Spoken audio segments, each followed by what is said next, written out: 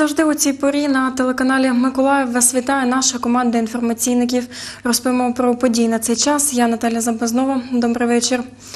Сьогодні у півночі завершується голосування за проекти, які фінансуватимуться з громадського бюджету міста Миколаєва у 2019 році. Віддати свій голос можуть усі охочі зареєстровані жителі міста віком від 14 років. Голосування відбувається у пунктах прийому голосів Миколаївської міської ради та в онлайн режимі на офіційному сайті. Усього оцінюється 54 проекти. Серед них облаштування зон відпочинку, відкриття спортивних комплексів, створення комп'ютерних центрів та організація фестивалів. Вартість найдорожчого проекту відновлення майданчика здоров'я юність 1 мільйон гривень. Найдешевшого організація наукових пунктів у місті 139 тисяч 700 гривень. Результати голосування стануть відомими завтра, 18 вересня. Початок реалізації проєктів заплановано на січень 2019 року. Нагадаємо, громадський бюджет це частина міського бюджету Миколаєва обсягом 12 мільйонів гривень, що виділяється з 2017 року. Цими грошима фінансують запропоновані містянами проекти, що перемогли у голосуванні. І до інших подій 16 вересня стався витік на чавунному водогоні діаметром 250 мм на парковці біля магазину Сотка, що на вулиці Соборній. Так, вчора ввечері виглядала парковка біля магазину, коли прорвало водомережу. Ремонтні роботи мали почати о 18-й. Почали на дві години пізніше. На цьому місці було припарковано три автомобілі, господарів яких шукали. Говорить начальник водопровідної мережі міського комунального підприємства Миколаївводоканал Лариса Танцюр. О 20-й годині ми розкопали, усунули витік, і о першій годині ночі ми закінчили. Було порушено стикове з'єднання. Перекарбували стик і відновили водопостачання наших абонентів. Все було досить таки оперативно швидко. 16 вересня до Дня міста Баштанка Миколаївської області презентували першу чергу будівництва басейну для плавання, який будують просто неба. Вчора відбувся перший заплив на честь місцевого спортсмена та тренера Семена Бойченка.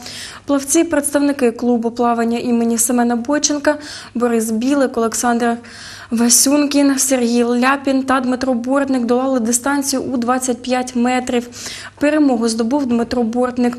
Робота над плавбасейном триватиме. Планується облаштування басейну та прилеглої території, зведення адміністративного корпусу і трибун, встановлення сонячних панелей та батарей. І в обласній науковій бібліотеці відкрилась виставка світлин Фотокрай Миколаївщина в об'єктиві.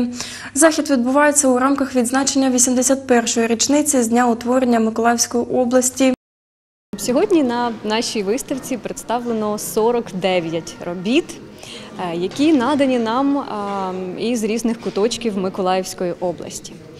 Е, Вірними помічниками у зборі фотографій нам слугували центральні районні бібліотеки, як наші підлеглі. Вони нам у цьому допомагали, оголошували збір фотографій у своєму у своїх населених пунктах. Відбирали найкращі, і ось сьогодні представлені перед вами найкращі роботи. Як розповіла під час презентації Оксана Іванова, 2018 рік в Україні оголошено роком збереження національної спадщини. Експозицію поділено на три частини: традиційно побутова культурна, архітектурна спадщина та природнича спадщина. Ну, этой выставкой фотохудожники решили окончательно развеять миф. Цією виставкою фотохудожники вирішили остаточно розвіяти міф про те, що Миколаївщина бідна на природні пам'ятки. Мені здається, це дуже чудові фотороботи. Причому більшість із них зроблена на недорогі і дешеві фотоапарати, так звані мильниці. Я представив 12 фотографій, із них було відібрано 4. Ось, будь ласка, можете побачити. Вони зняті на мисі Аджигул. Це був піший похід із Миколаєва до Очакова берегом. Олена Шандригіна також представила пейзажні фото. Фотографією займається 10 років. Каже, полюбляє знімати саме природу. Це Актовський каньйон, одне з найкрасивіших місць. У нас, звичайно, багато красивих місць, але каньйони, вони взагалі, мені здається, це не природа України. Але на диво вона у нас є. І дуже би хотіла, щоб більше людей це бачило, приїжджали туди, дивились, насолоджувались цією красою. Архітектурну спадщину Миколаївщини фотохудожники показали через храми та будинки. Представлені світлини народного одягу та помешкань. Є фото й мандрівника, літератора Михайла Терновського. Він пішов життя у 2008 році. На виставці представлені три його фотороботи. Виставка Фотокрай Миколаївщина в об'єктиві працюватиме в стінах обласної наукової бібліотеки чотири тижні. Цієї суботи на вулиці Соборній зможуть побачити миколаївці. А далі виставка мандруватиме районами області. Олена Міщенко, Юлія Кускова, телевізійні новини Миколаївщини. І з 1 жовтня в Україні починається осіння призовна кампанія. А від сьогодні розпочалися заходи з підготовки проходження майбутніми призовниками медичних комісій.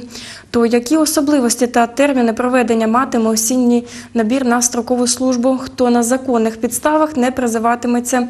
Які умови контрактної служби у 2018 році?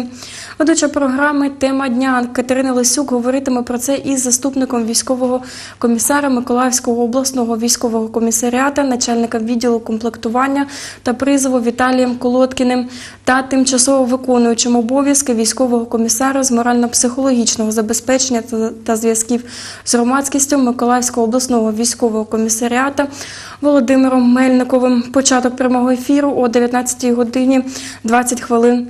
Я прощаюся з вами до наступної зустрічі.